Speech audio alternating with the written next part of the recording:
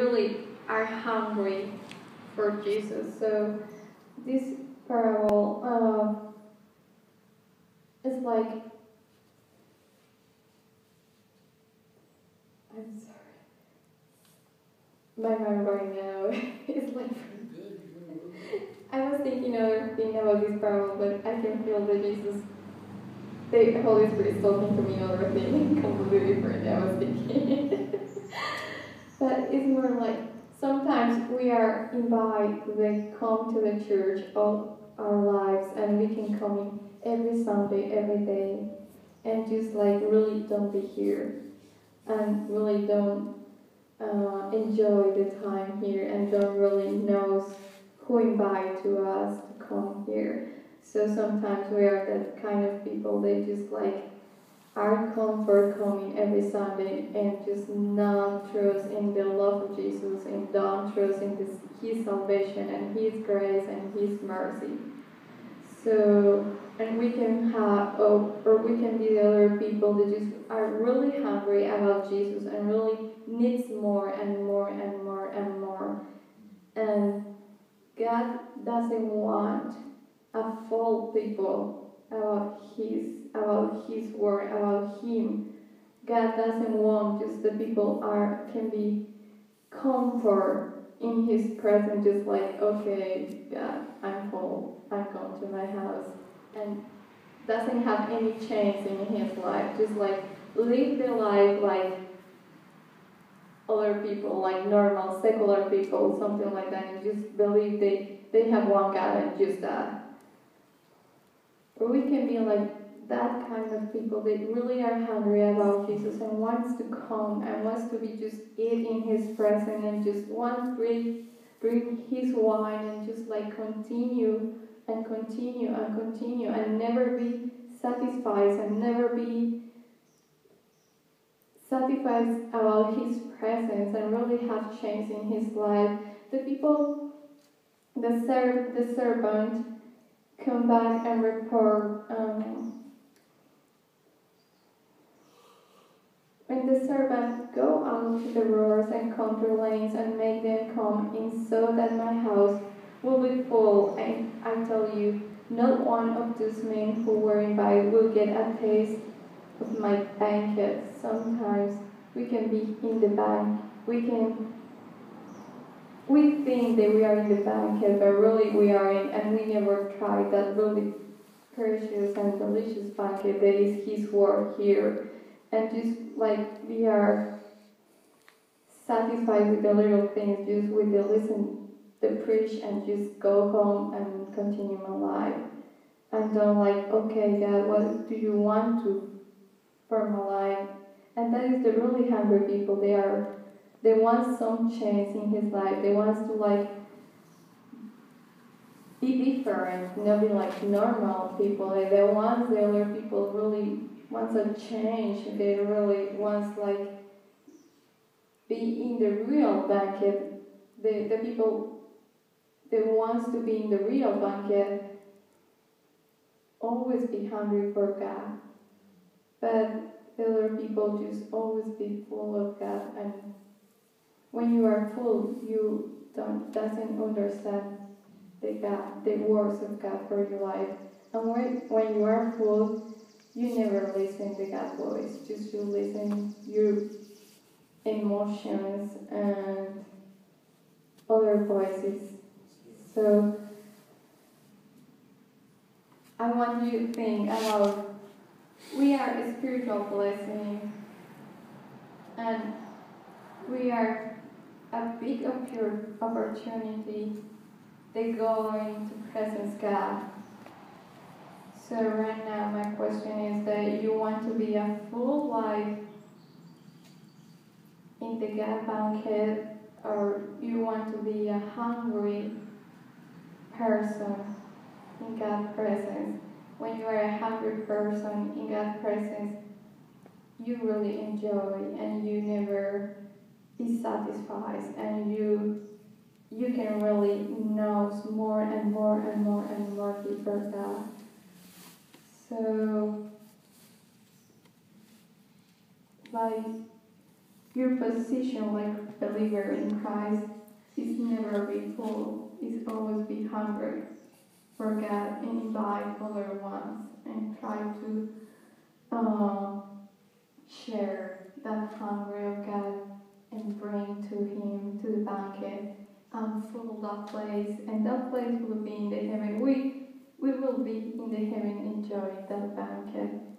And our work here is invite other people to that banquet and enjoy together.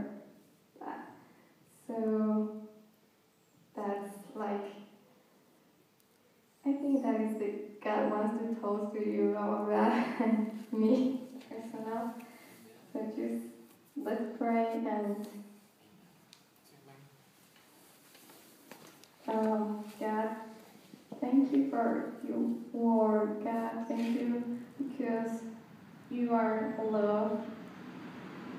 And for that love, we are here and we can come here and talk with you directly and say that we love you and you are merciful, you are faithful, and we want to be more and more and more hungry about your presence, about you. We never, we never can be. We never want to be satisfied. Just we want to more and more and more in you, want to invite more people to your presence and can enjoy enjoy your presence and just like share with you because we love you and we want more people enjoy your life, your your presence, God. Thank you so much for this word. Thank you for using my life. And God, I ask you that these words change our lives and we can do something about that. And we can transfer our lives in a little bit, a little bit. We can change our lives or in a huge way we can change our lives in new steps and new ways that, that we can see that you are with us always. Thank you so much, God. We love you. Amen. Amen.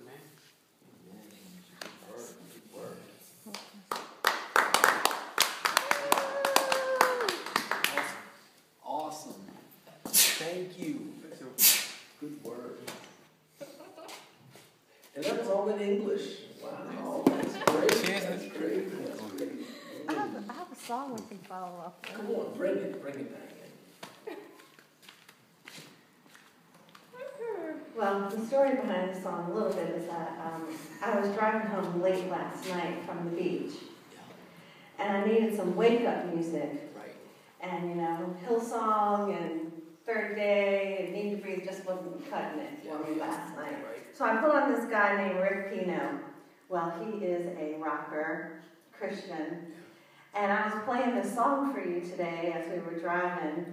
And it's all about going to a wedding to marry my love and how Jesus is changing the water to wine.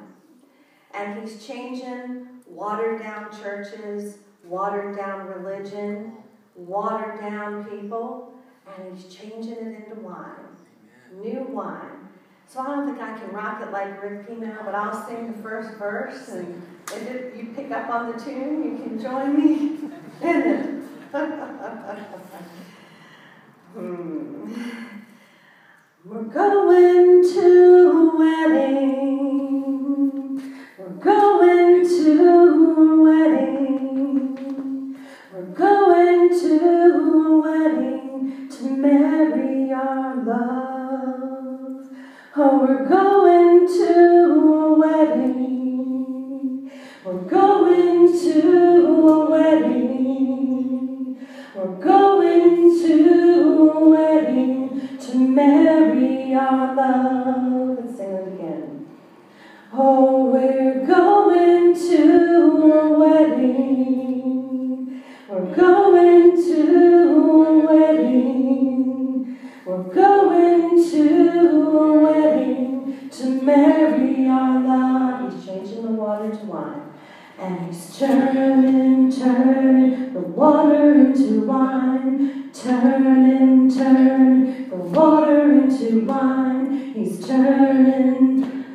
water into wine. He's turning, turning water into wine. He's turning, turning water into wine. He's turning, turning water into wine. Amen.